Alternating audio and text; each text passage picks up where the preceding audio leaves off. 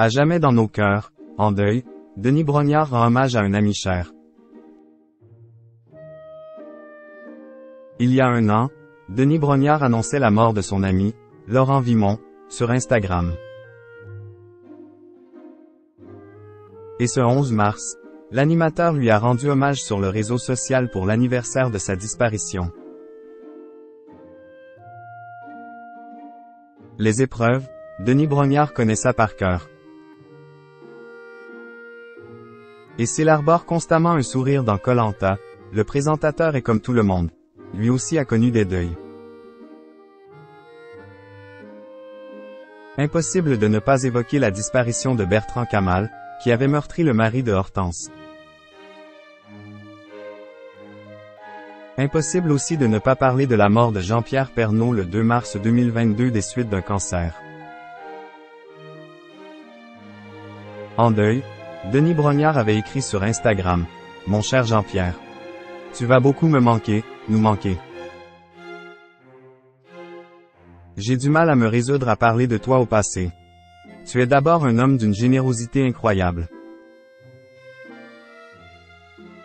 Tu étais le même quel que soit ton interlocuteur, tu aimais écouter, t'imprégner de la vie des autres pour nourrir ta propre existence. Quelques jours plus tard, le 11 mars 2022, l'animateur avait annoncé la mort d'un autre être cher. Il s'agissait de son ami Laurent Vimon, qui était à la tête de Century 21. Denis Brognard rend hommage à son ami. Je viens de perdre un ami cher, un homme rare, un catalyseur de bonnes ondes et d'énergie. Je l'aimais profondément, je l'admirais beaucoup et je le respectais infiniment. Il était un grand patron humain.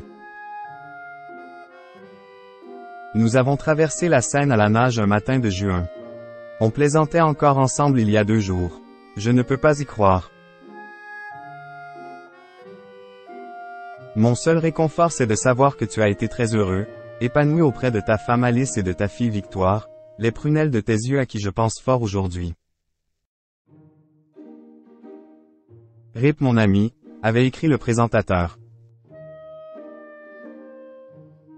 C'est avec la même émotion que Denis Brognard vient de rendre hommage à son ami ce samedi 11 mars, pour le premier anniversaire de sa disparition.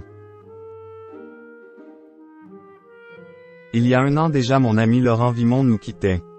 À jamais dans nos cœurs, a écrit Denis Brognard.